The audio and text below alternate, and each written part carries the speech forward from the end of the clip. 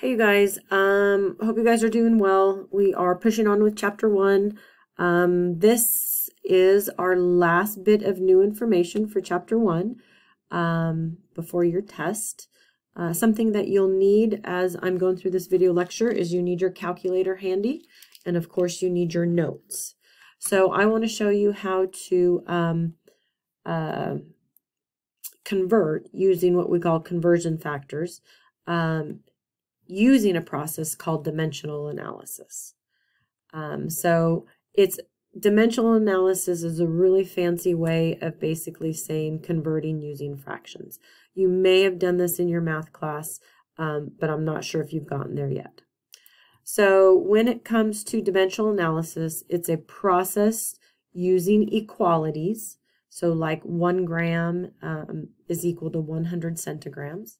So a process using equalities in the form of fractions to convert from one unit to another unit. So for instance, from feet to inches, or from centimeters to feet, or from kilograms to centigrams. Um, conversion factors are fractions used to convert from one unit to another. Um, conversion factors are um, basically fractions. Um, we just call them in science conversion factors. Let me get my pen here all ready to go. Okay, so um, so conversion factors are literally fractions, and they're used to convert from one unit to another. Um, so what we do with dimensional analysis before we start, and we're just going to jump straight into it, um, all equalities, anytime we're going to convert, we're going to start with an equality and you'll be given the equality. I will give that to you. You just need to figure out what goes on the top and what goes on the bottom. And then you have to show your work and then you have to um, use your calculator. So all equalities can be made into two conversion factors. Okay, so what I want to do is I want to show you, and we're just going to use this one equality right up here. Um, Okay, so our one equality, you can always take one equality and make it into two conversion factors. So if I say one dozen is equal to 12 eggs, I can make it into two fractions basically. And those two fractions are going to look like this. I could say one dozen over 12 eggs. Or I could say 12 eggs over one dozen. So this is considered to be conversion fraction, a conversion factor, and as you can see, it's a fraction, and this is also. So every single equality can be made into two conversion factors. Which conversion factor we use depends on what we're solving for. So let me give you one more example. I could say one kilogram is equal to 1,000 grams. And that could be put into a conversion factor, two conversion factors. I could say 1 kilogram over 1,000 grams. Or I could say 1,000 grams over 1 kilogram. So what we're going to do is we're going to use these conversion factors to convert from one unit to another. So we're just going to, like I said, just jump in here. Um, so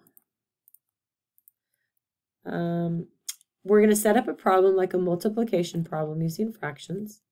Um, always put the unit you want to get rid of on the bottom of the fraction. The units we want to get rid of goes on the bottom of the fraction.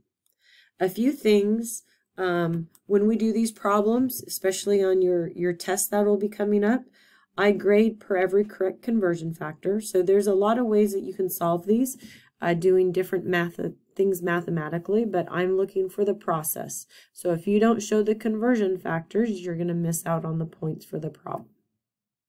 Okay, so our question says, um, you are baking cookies for the entire freshman class, and your recipe calls for 463 eggs. You are at Sam's and they will only sell eggs in dozens. Um, so now we need to figure out how many dozens we're going to need to purchase to make our cookies. We're going to solve using dimensional analysis. So we always start with what we're given. Um, we are given 463 eggs. And we need to convert that to dozens so we can just pick up some dozen eggs instead of single, count out 463 single eggs. So I'm going to go back to um, the conversion factors. Okay, so if you remember um, before, I said that we would have one or two conversion factors were one dozen over 12 eggs or we could have 12 eggs over one dozen. Okay, so we need to figure out which one we want to which one we want to use.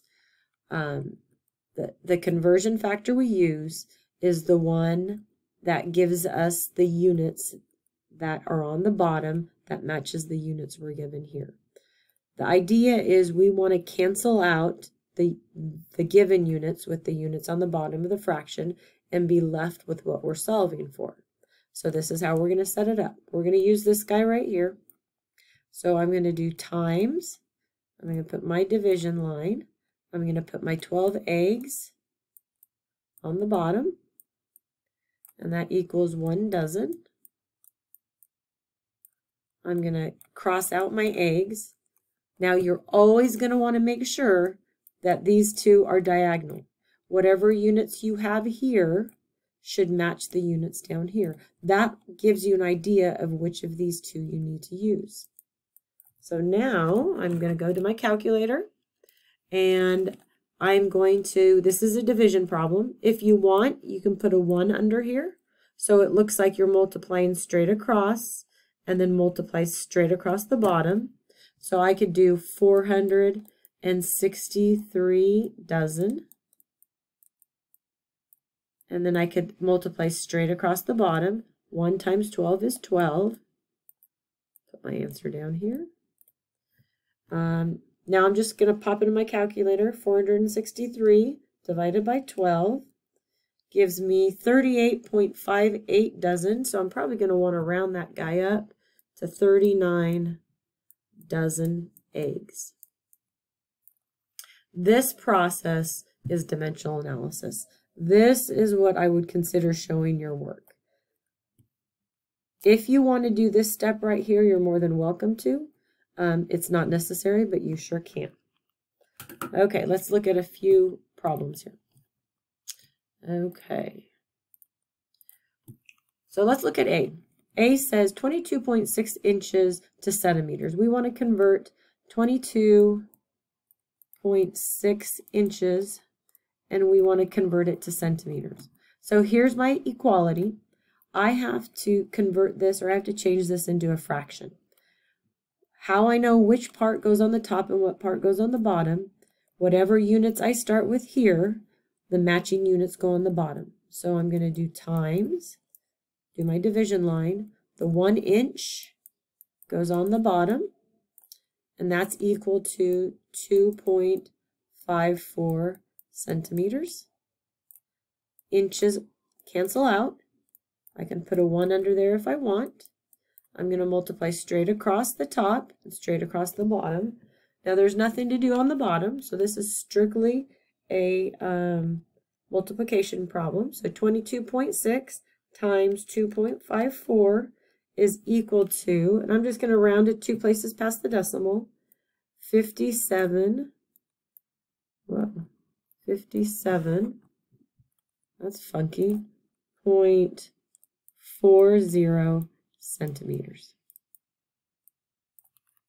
So 22.6 inches is the same as 57.40 centimeters. Um, okay, let's look at B. So letter B, um, on March 24th, uh, 89, Exxon Valdez struck a reef in Prince William Sound, Alaska, spilling 37,854,120 liters of crude oil. What is the volume in gallons? So we're going to start with what we're given. So our 37,854 120,000. 37,854,120 liters. Now, this is my conversion factor. I want to go from liters to gallons so it makes a little bit more sense in our head. So I'm going to do times. I'm going to put my conversion factor. My one liter goes on the bottom. My 0.264 gallons goes on the top. Now I know the liters go on the bottom because I have liters right here. So my liters cancel out. I can put a 1 under here if I like. There's no dividing to do because I have a 1 underneath each fraction.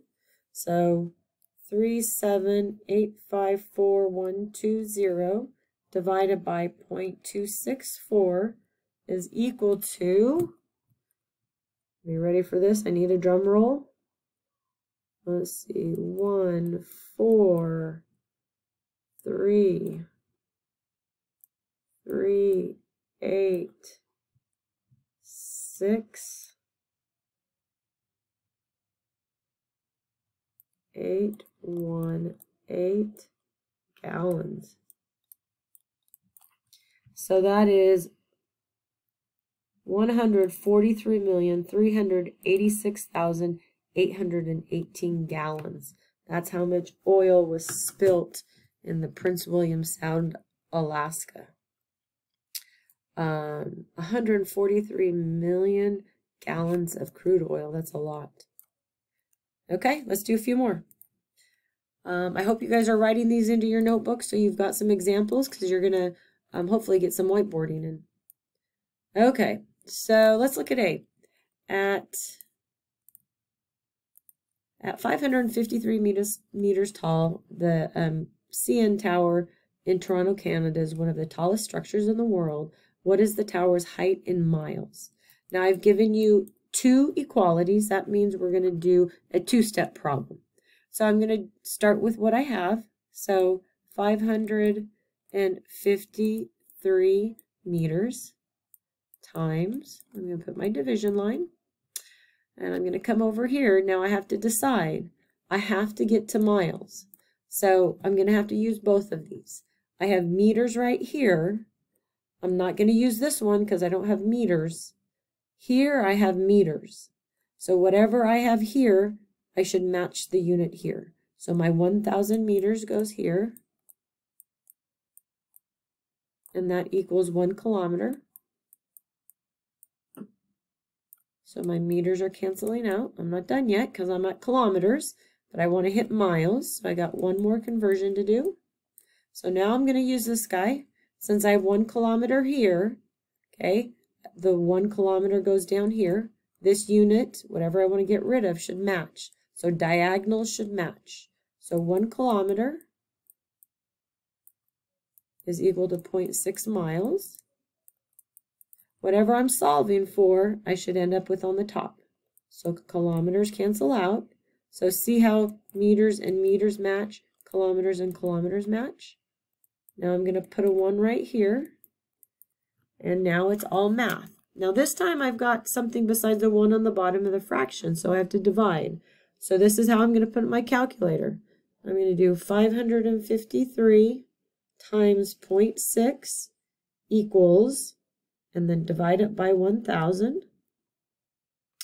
And that is going to give me 0.3318 miles.